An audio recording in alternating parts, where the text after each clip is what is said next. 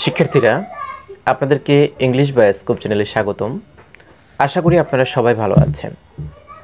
আপনি যদি জাতীয় বিশ্ববিদ্যালয়ের অধীনে দুই হাজার বিশ একুশ শিক্ষাবর্ষের অনার্স প্রথম বর্ষের নতুন শিক্ষার্থী হয়ে থাকেন, তাহলে আজকের এই ভিডিওটি আপনাদের জন্য আমি আজকে আজকে আপনাদেরকে অনুরোধ করব যে পুরো ভিডিওটি আপনারা ধৈর্য সহকারে দেখুন এবং এখান থেকে আপনারা ইন্সপায়ারেশন শক্তি নিয়ে সেটা আপনাদের বাস্তব জীবনে প্রয়োগ করুন। দেখুন, আজকে আপনাদের কোনো কোনো গুরুত্বপূর্ণ নোটিশ বা তথ্য আপনাদেরকে দিব না। একটা গল্প আজকে আপনাদেরকে আমি বলতে চাই।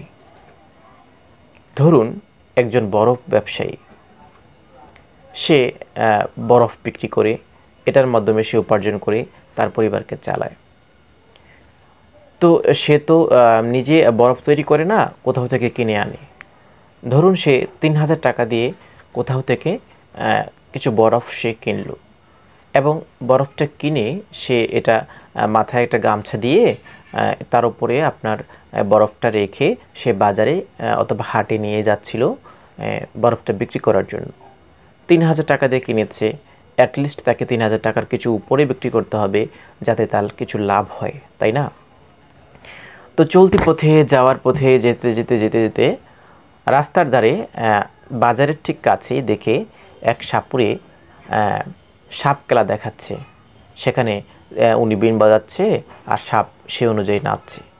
অনেক মানুষ সে খেলা দেখছে। তো ছোটোবেলা থেকে তার শখ ছিল সাপ খেলা দেখার। সে দেখতে দেখতে দেখতে দেখতে দেখছে সাপ খেলা দেখছেই দেখছে তো কখন যে সময়গুলো পার হয়ে যাচ্ছে, কখন যে মাথার বরফটা গলে যাচ্ছে তা সেদিকে তার ভ্রুক্ষেপে ছিল না, তার খেয়ালই ছিল না। যখন তার জ্ঞান হলো, বুঝ হলো, তখন সে বুঝতে পারল, হায় রে, আমার তো অনেক বরফ নষ্ট হয়ে গিয়েছে। এখন এই যে যতটুকু বরফ তার বাকি রয়েছে, সেটা নিয়ে সে বাজারে গেল এবং বিক্রি করার চেষ্টা করল।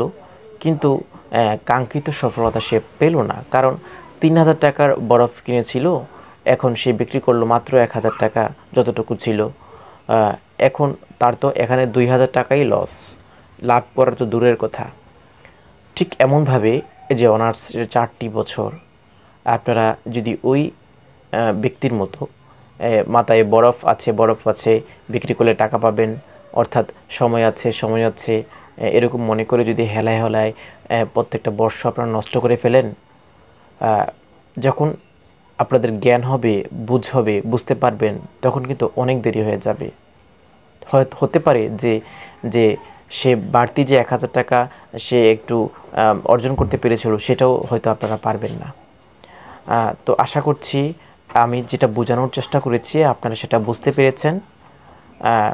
এবং একটি কথা আমি পুনরায় আপনাদেরকে বলতে চাই, যদি আপনার মধ্যে জ্বলার মতো আগুন থাকে, তাহলে সেটা জ্বলবেই। চেষ্টা করুন। আপনাদের চেষ্টায় আমি আপনাদের সাথে রয়েছি।